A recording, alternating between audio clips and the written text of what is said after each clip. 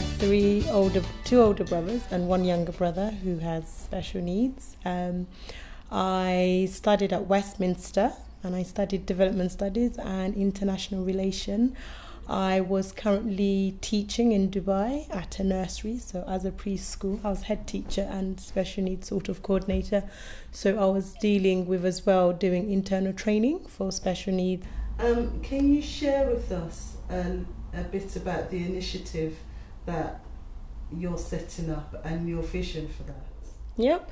I would first like to say I'm a big dreamer. And I believe in dreams because everything does begin with a dream. We migrated to the UK as refugees. And my brother being disabled, as I'd already stated, when I was nine years old, I sort of started taking on a caring role for him. And my question was, where would my brother be if we were still in Uganda?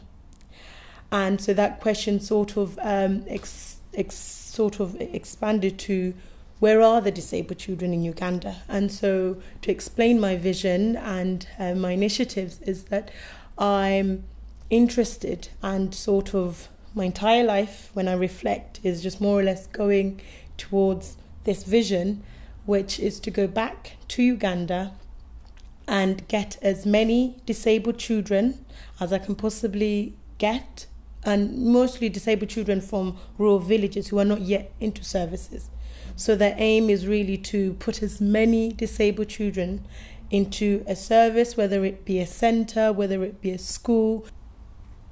That's amazing. Um, what I mean, you have you said a bit about what's inspired you. Absolutely. But um, can you say a bit more about where does your passion come from for this initiative? Yep, my passion comes from a lot of things.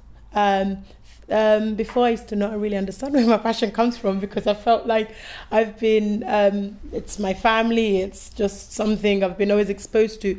But my passion, um, I would first state, I would say the three people and organization. Of course, my brother, my mother, Merida Kasiri, and the church, Vine Church.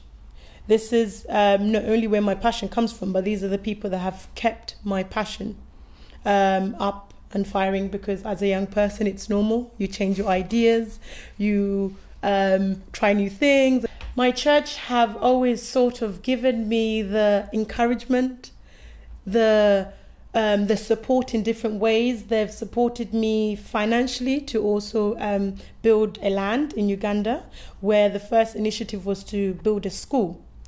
Um, they've helped me sort of mentally and also just it's almost like simple things as bringing newspaper articles that they've seen and also just checking up on just the interest they have in what could have been just a phase that was going through they've kept that burning and they've also in any way that they could sort of have known um, oh sarah might be like uh, might be interested in this or i've spoken to somebody who has a school in uganda or who's doing a project they come and tell me. So it's almost like even if I am to go off, so this is why I keep saying they've kept my passion burning and they've kept my vision clear and they've sort of kept my interesting and they gave me the confidence that okay i guess i am the individual for the job or for the mission um, what does god mean for you in this vision and what part does your faith play God and my faith means a lot. Actually, they are, I would say, one of the firmest foundations.